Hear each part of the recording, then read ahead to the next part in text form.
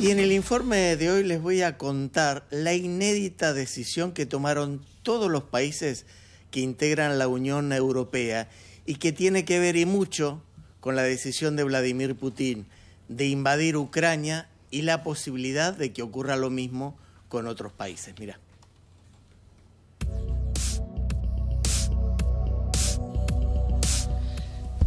Europa se pone en pie de guerra.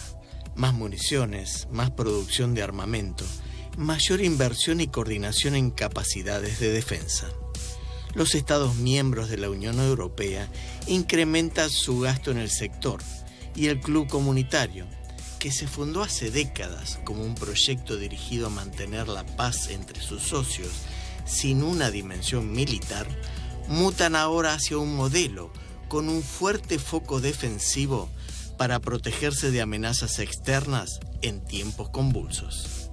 La senda de esa metamorfosis llega marcada por la guerra de Rusia contra Ucrania, que ha iniciado su tercer año con las tropas de Kiev en dificultades por falta de municiones y la parálisis de la ayuda de Estados Unidos, con un Kremlin que avanza en el campo de batalla ucraniano, por una China cada vez más activa y también por la creciente inquietud ante la posibilidad de perder el paraguas de seguridad del aliado americano si Donald Trump vuelve a la Casa Blanca o si Washington centra sus esfuerzos en otro de sus focos de atención, el gigante asiático.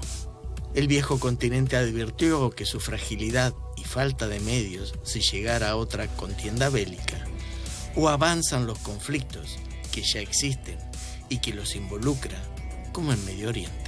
De hecho, fue la propia presidenta de la Comisión Europea quien advirtió que los países que representa deben realizar un mayor gasto militar. Europe has gotten stronger because we all understand how important it is to have a sound security spending and to be able uh, to provide security and to, to, defend ourselves. Look at the investment of, uh, uh, in uh, security and defense. Last year it was around 280 billion. This year projected is already 350 billion euros, so there is an increase.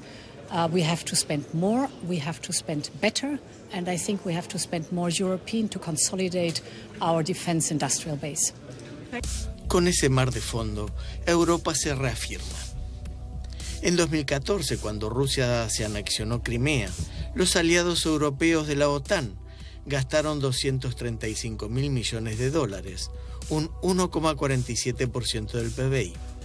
En 2023, la cantidad ascendió a 347 mil millones de dólares, equivalente a un 1,85% del PBI. Para 2024 se esperan 380 mil millones, un 2% del PBI. Rusia, con la economía enfocada en la producción defensiva, cuenta con la ayuda de Irán y Corea del Norte.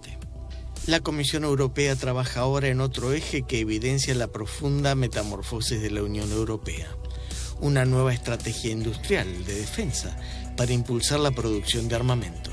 Se trata de un plan basado en un sistema de compras conjuntas que tiene como meta aumentar el uso de ese canal para incrementar los pedidos y dar seguridad a la cadena de producción. Las turbulencias han desatado un sentido de urgencia en la voluntad de dar un salto hacia una Europa mucho más capaz en defensa.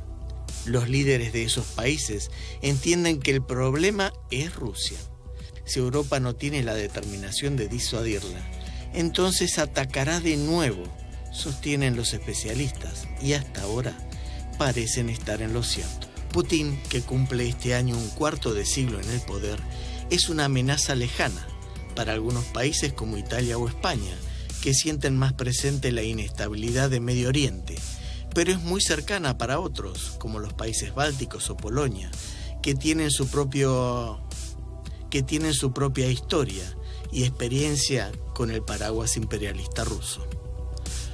Por lo pronto, en las entrañas de la OTAN no ha cambiado el nivel oficial de alerta sobre la posibilidad de que el líder ruso invada otro país europeo, al menos en el mediano plazo, y para eso se prepara la Unión Europea.